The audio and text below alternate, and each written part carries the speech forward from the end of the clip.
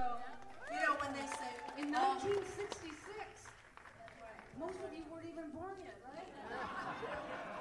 I know I've got some friends that I have out here in the audience somewhere. I hope she's there. My very first friend when I was two years old from Folsom, uh, my friend Janelle Jorgensen. And, and my friend from high school, Barbara Reno. Yeah!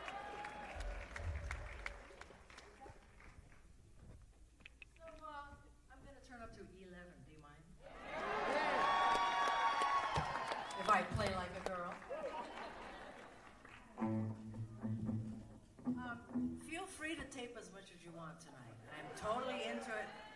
If you send them to us in high res, okay?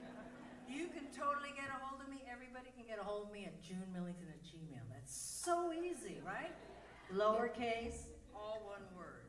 And, and uh, you can find uh, um, Patti and I and, and the rest of us on Rock and Roll Fanny, Rock and Roll Survivors on Facebook. Because hey, man, we're surviving still. Look at all of us are here.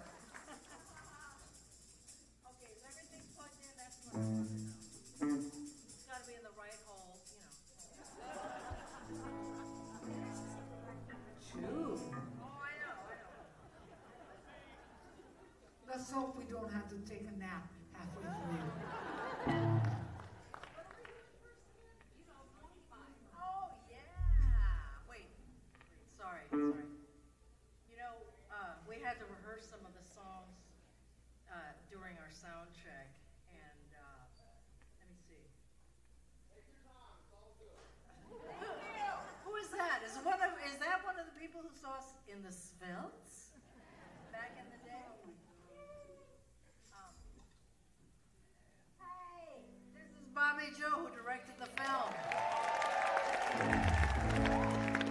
She's always got a camera in her hand. Oh, is everybody set? Let's go. Let's do it. Ah! All right. Step right up, ladies and gentlemen, to the greatest show on Monkey Mind, led by humanity itself.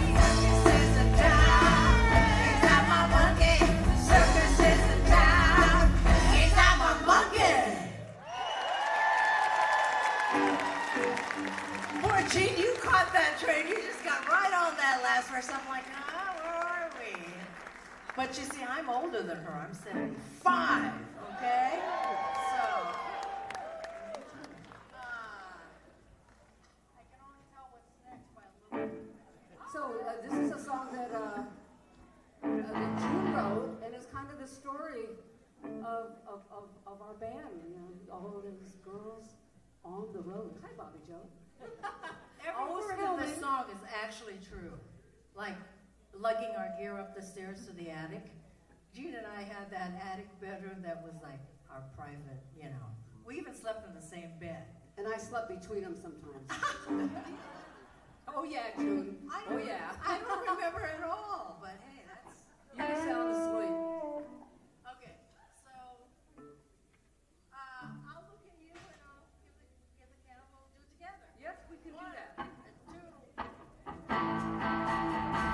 Go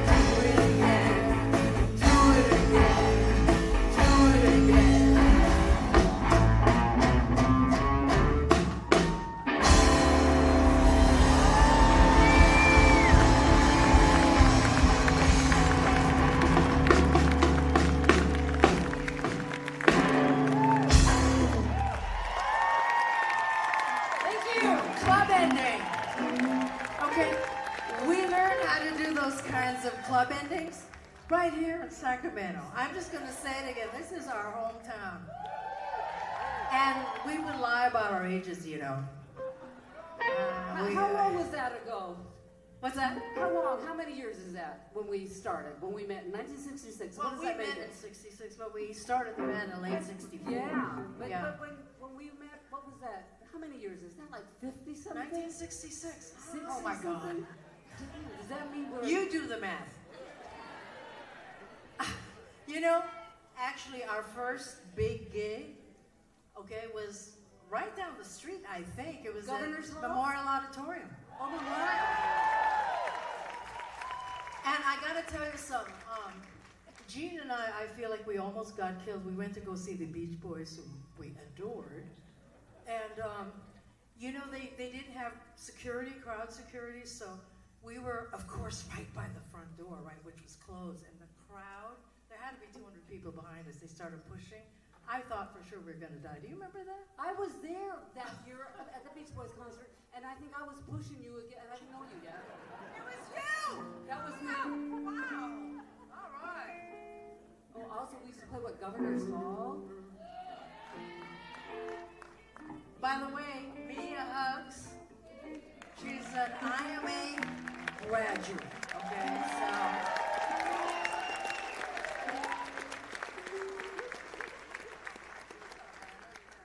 Okay. So this is uh, Butterboy, Butterboy, which Jean wrote was in Boston. It was too for I guess. So um, hey, I I I'm going to start it, and then Jean, you just let me know when we when you want to waboo.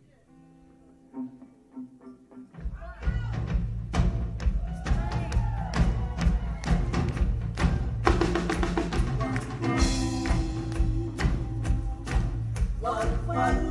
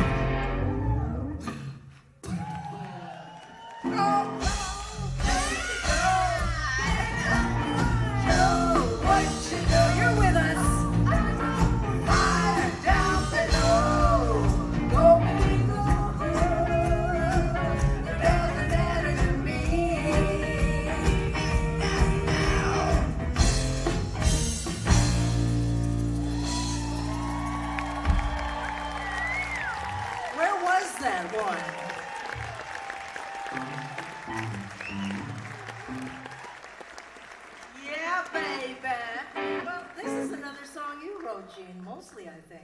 Soul Child. Yeah, yeah. Give me one second here because.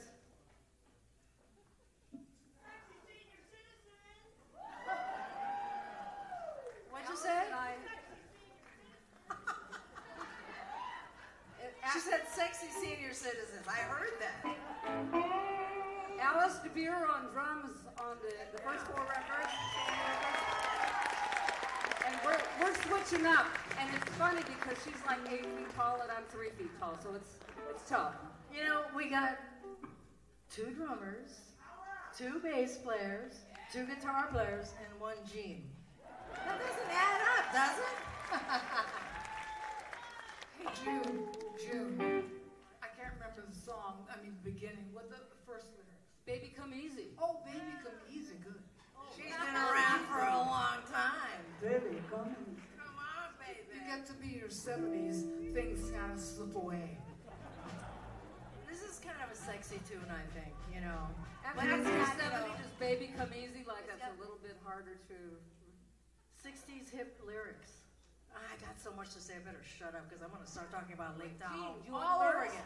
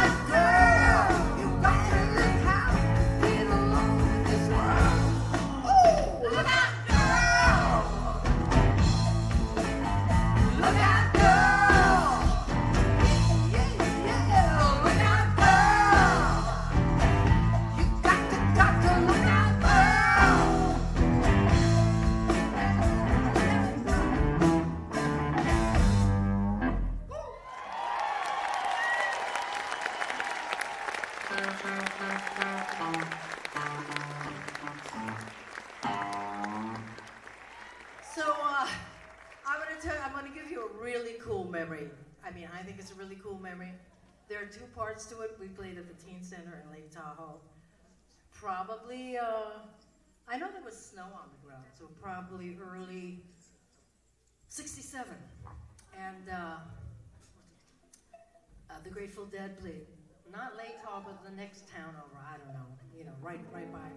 And the next day, oh, and we didn't have enough money to get a hotel room, so we slept on the floor by our gear, which was kind of cool because you know we were uh, basically making sure nobody stole our shit. You know what I'm saying? Which happened a few times. Yeah. So, um, so the next day somehow we were uh, in the bathroom or near the bathroom and out the bathroom window we were screaming at um, who was the lead guitar player of the Grateful Dead? Of course I know, Jerry Garcia. So, so they they were going in a car and we're going, Jerry, we love you, Jerry. And he's waving up at us. That's a cool memory, don't you think?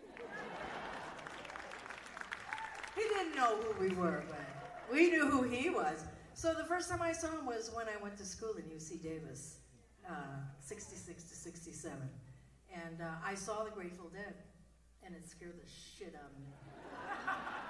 I had no idea how Jerry Garcia knew how to play those notes. And by the way, he started on banjo. He didn't play on a guitar. He didn't start on guitar. I happened to, to we happen to live, you know, in IMA West. We lived next door to the his art teacher who said, hey, you know, maybe you should play electric guitar and not banjo, which was a really good suggestion, might I say. So, uh, yeah, so we are going to do, what are we doing? Ain't that the cute? Holy shit. All right, so we're doing this song because Jean asked me to get it together. Is there a drum key in the house? It was pretty funny about the song because June had no idea how she played the, the slide in the beginning. She watched Beat Club, and fortunately they showed her hands on that part of the song. She learned the part from Beat Club. pretty funny. I think it has like over 3 million views on Ain't That Big Four Probably a few of you watched. Also, uh, you guys probably don't, yeah, that sounds much better, thank you. Uh, you don't know this, but, but Alice and I know this because we're drummers. When you have to play this many sixteenth notes, this fast, for so long, it hurts like a mother. So Alice is, is, uh, you know. complaining about. Gee, Throw it out there, man. Appreciate Alice de Buhr, man.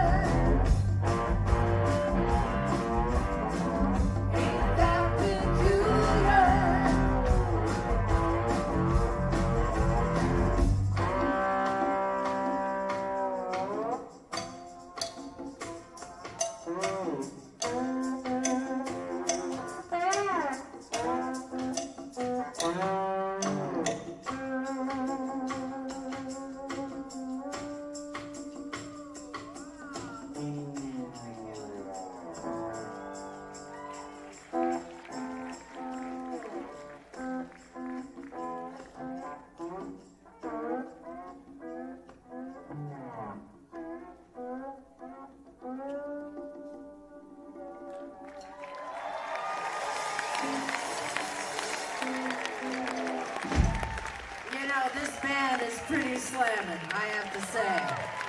Because I can stop playing and the shit just keeps happening. In fact, I can forget to put this on and there's just like a steam roller, baby.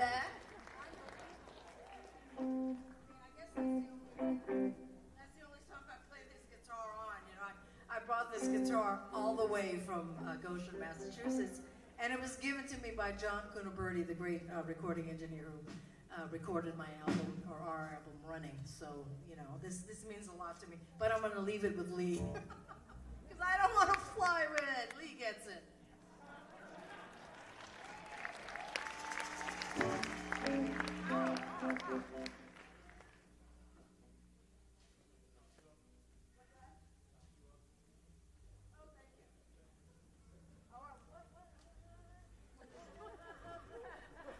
what? I don't even, you know, when I'm in the state, it's, may I say, kind of an exalted state. I, I mean, I don't even know where I am. We're, but we're all there together, right? Yeah, okay. Is, is there any water in the house? Can I get a water? No more aerobics, that's all I ask. Oh my God, wow. What's that? It's really nice to be back in Sacramento. When I left home from Iowa, Sacramento is where I moved. And I called, I went to a music store and saw a listing for, you know, somebody needs a girl drummer, female drummer. So I called the number, and this little voice answered, and I said, you know, I'd like the- Arjun and Jean there. No, they're not here right now. I said, would you take a message? Alice de Buhr's answering the ad in the music store. Well, Sylvia, their little sister, never told them that I called. Oh. They went In her defense, let me say she was five. Yeah, oh yeah, yeah, she was teeny, but then they went off to Canada, and I don't know how many drovers they went through, but we finally hooked up when they came back, and, uh, that was The it. rest is history. Ancient history. Let me just say that one of the songs we played in her audition, which wasn't really an audition because we just actually just played. But I'll never forget one of the songs that we did was "I'm a Man." Remember that? I'm a man. It's a man, that you love yourself. Actually, June, there's a lot of good loving. It takes a lot of good love. Yeah. They're all the same, you know. Hey, it was a long time ago, right? I mean, today we were listening to something over the PI. said, same groove, different song. I mean, you don't make up actually anything new when we learned all this stuff when it was being invented. You do know that those beats were invented, right, in the 60s, for the most part. you know? And, and Ros- Sister Rosetta Tharpe was the first rock and roller. Okay? I wish I'd known that. Okay. Yeah, much better.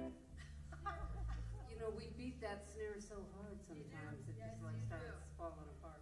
All right, so this is a, a ballad that was written at Fanny Hill. If you don't know about Fanny Hill, it's right off of Sunset on Marmont Lane. You just go past the Chateau Marmont, about three blocks, and there you were at Fanny Hill, which was the fabled Fanny Hill um, on Marmont Lane. So this is Thinking of You.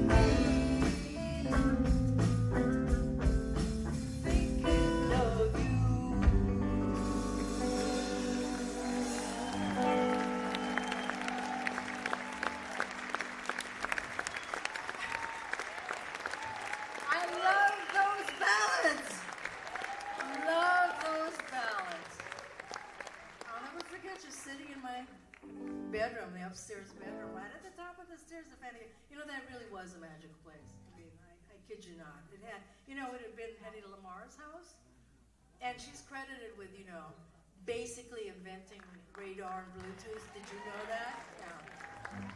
I mean, so many women. Come on. And uh, that house was electric. It was super electric, in part uh, of her energetic contribution to the world, the universe, and to that house. Um, wh- wh- what song do you have next on your list there, June? I think it's jungle. Lured. So this song is off of the, the last album that we did about three years ago called Fanny Walked the Earth that June and I and Jean did and Patti and Alice so graciously joined us. And um, this song called Lured Away is all about, you know, when sometimes things are going pretty well, but there's something missing and you want it, you want more, and it's never too late to get what you want, so keep going for it.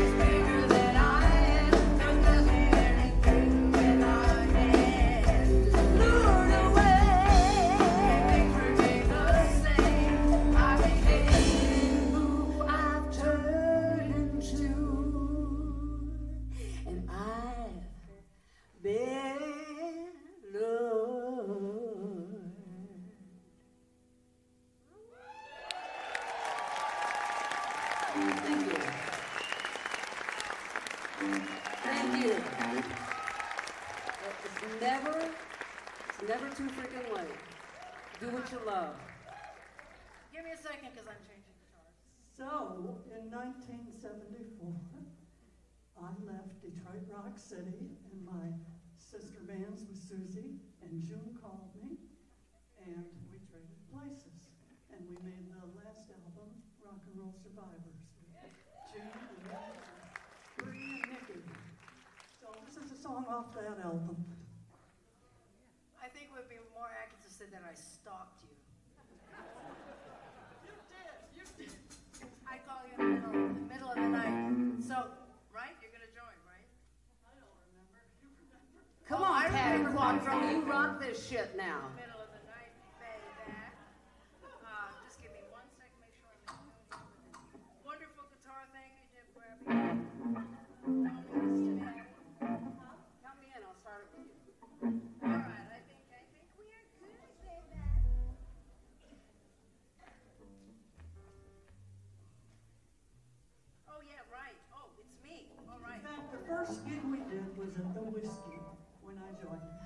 John Lennon was there with the Kotex on his head.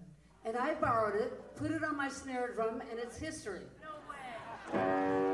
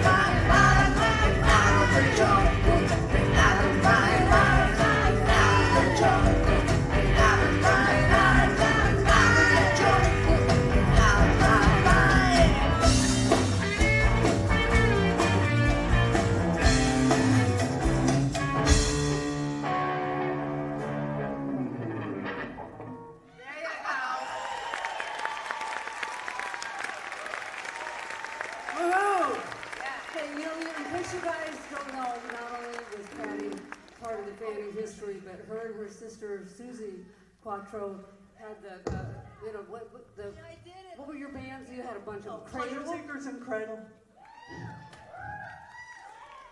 you know, back in Detroit.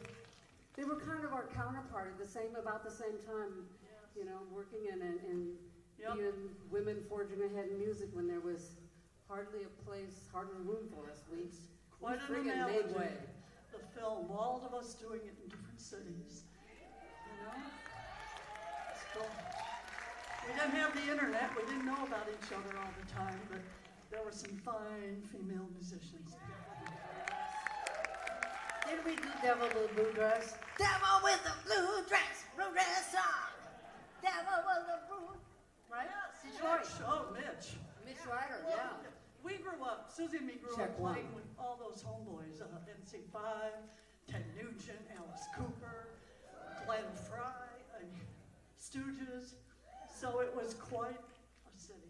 So yeah, the MC5, you know, they're they're back together and doing some stuff with our friend Vicki Randle that we got to see the other day um, from San Francisco, and she was she was the percussionist on the Letterman show. Coming out here, yeah, awesome, awesome player, singer too.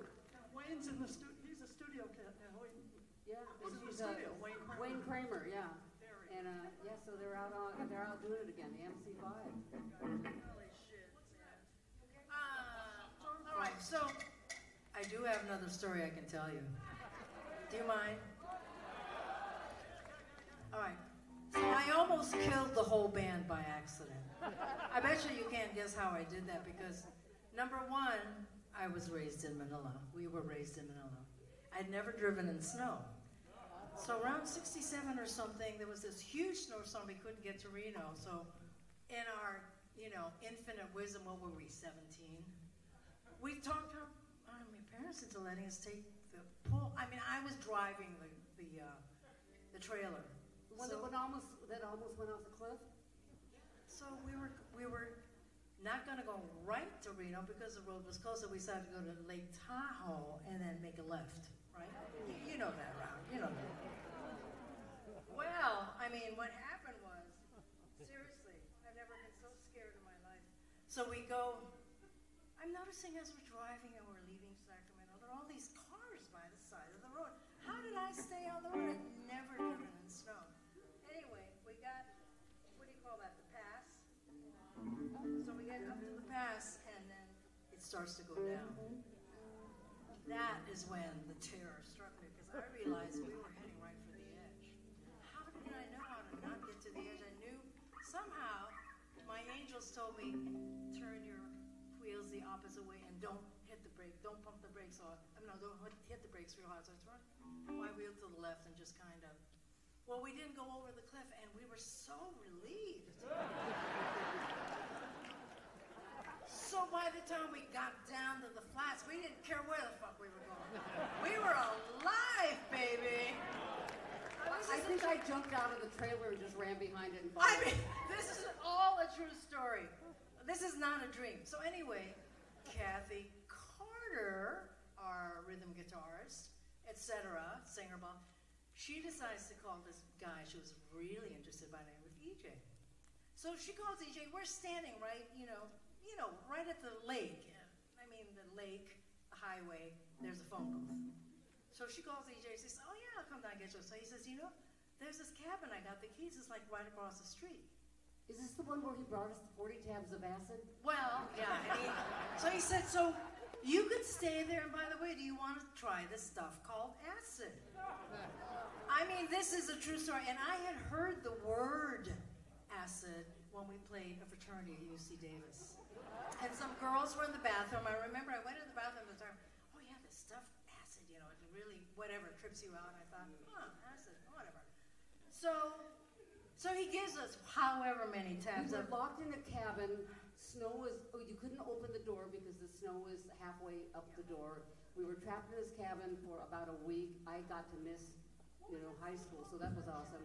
We had no food and 40 tabs of acid. We had a really, really What- good what was time. that? And the Sunshine? Jefferson Airplane on Oh no no no! Wait, you're jumping ahead. Oh, okay. So here we hadn't taken the acid yet. We decided to load our gear through the snow into the cabin and rehearse. Okay, so that was our work ethic. and I decided, oh, let's try Baby I'm Yours. So we started the song, you know.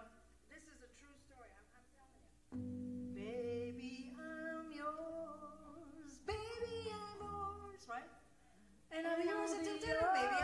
And then all of a sudden, I hear everybody going, wow. and all of a sudden, I kind of heard myself go, wow, because I, I saw the skier on, on the wall, you know, photo, big photo of a skier, and the snow was flying off his skis in real time. Everything sounded really, really good. Now we get to, And everything was covered with paisleys. yeah.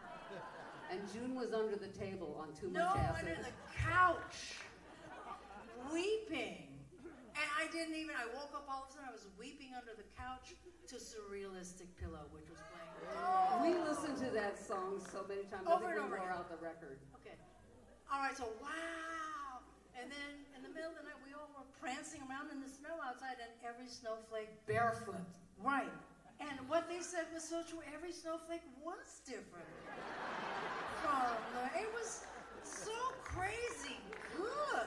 So if anybody has some acid out there and you want to share it, we can all have a good time tonight. What was that called? Window pane or whatever. Window pane, Good shit. purple osmonds, orange Anyway, sunshine. so this is my homage to uh, Jimi. Hendrix. This is a uh, Storm Cross. So, you know,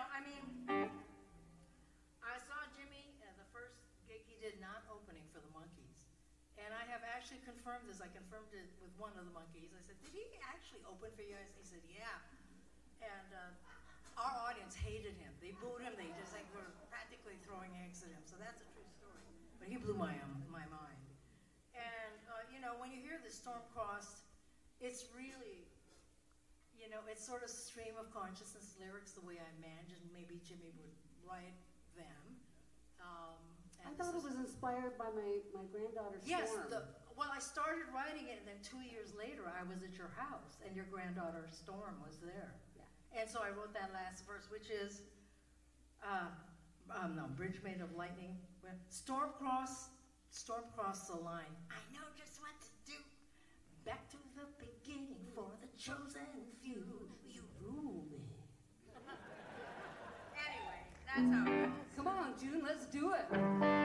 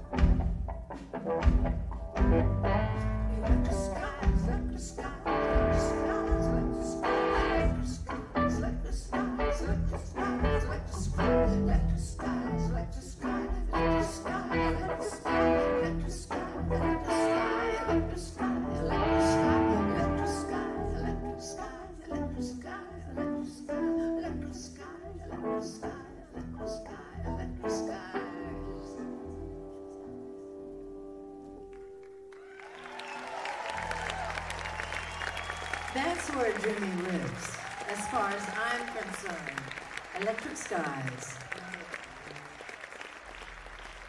Thank you. What are we doing? Oh, yeah. Come on, Al, let's have a seat. But before I do that, I want to introduce the band. Since I'm not able to play bass, my son Lee has been playing bass. And also Mia Hubbs, who's from the IMA school. She's a graduate.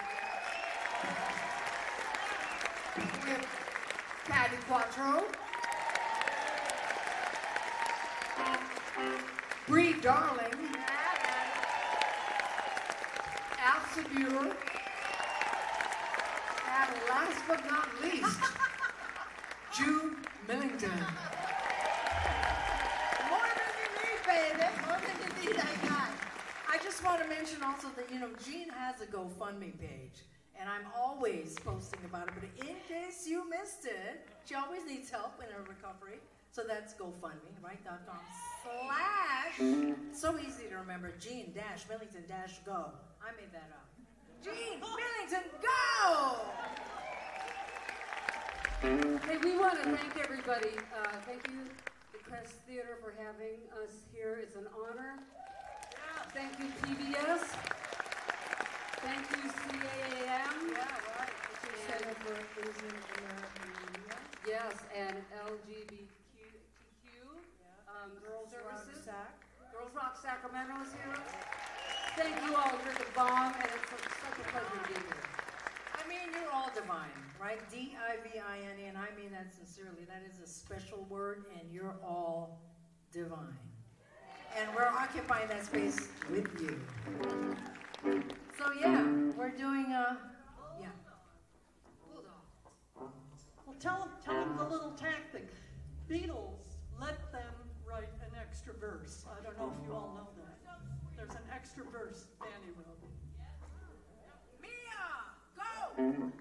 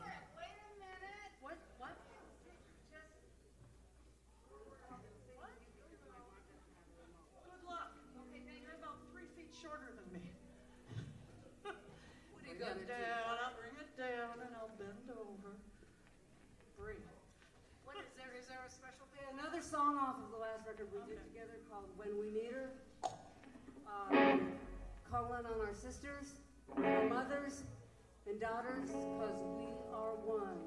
So, you know, hey, during this song, if you feel like standing up and singing with us, I freaking would love it. You gotta, you gotta know the thing behind it. All the girls, you know, we're all playing different cities all over the U.S. We called them in. I called Genya and Kathy Valentine and Cherie, and she called the Bangles, and they came in the studio. They wanted to be a part of it you know, the women. It's like a small circle that is historical background. Yeah, you know, they, they all And they came. sang on this. They, they all came. And it's really cool. It's like a, a women's anthem. Women supporting women. That's what it's all about, right, girls? Are you ready, June? You know I am. Whoa!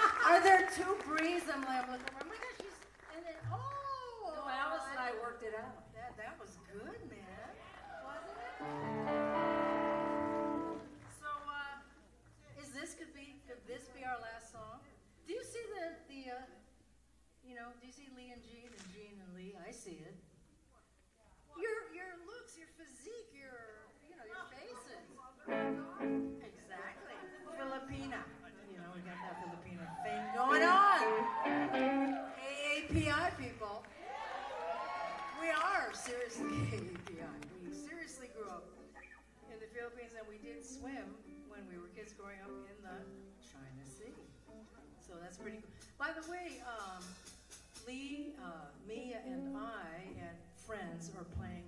I know you're. You probably don't know this club, but it's called the Drake. If you have anyone who lives in the Northampton Amherst area, we're going to be doing a benefit for Jean on June 10th, which is really soon. So. And if you know anybody in Madison, I'll be there this next weekend. We're gonna stay through Jean's birthday, then we're going home the twenty-seventh, and I'm flying to Madison the thirtieth to be with the film. By the way, Bobbi Jo, did you know that? I'm gonna be with the film in, in Madison on, uh, June, June first, is it? I think it is. So there's a lot of stuff going on, then I'm flying back. I don't know how I'm doing all this. Did I mention I'm 75? I, I really don't know where I'm getting the energy to do all this. We've been on the road for like a week. Yeah, she, she beats us all out, the rest of us all out by a year, right? I'm 75. Oh, hey, Patti's seventy-five? Um, we're on the cutting edge of ageism. It ain't over till the fat lady sings. You know, I I'm gonna gotta start singing any second. How many of you are over 60? Over 50? So you know what is over 40. Yeah. So 75, I, yeah, did notice the change when I hit 40. I mean, the way that people looked at me was completely different. But you know, it's cool. We're growing into it. You know, we're growing. We're growing into our own older age. I won't say old age. Older. age.